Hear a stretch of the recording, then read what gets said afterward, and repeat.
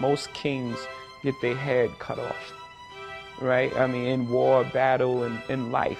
At the end of the day, you've achieved everything you want. You've made it to the top of the throne. You know, it's like this thing, this love, hate thing that the world has with success, period.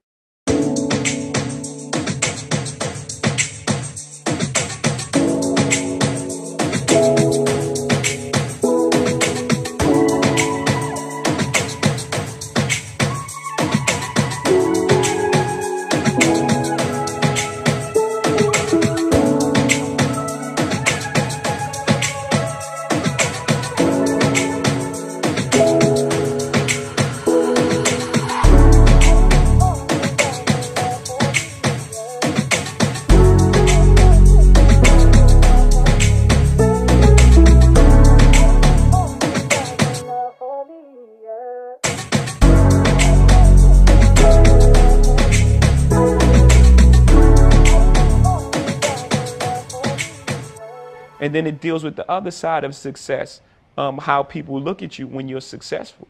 Media medals, people sue you, settle. Every step you take, they remind you you get it. So no matter how far you are, you still have that stigma on you of where you come from when you walk inside the door.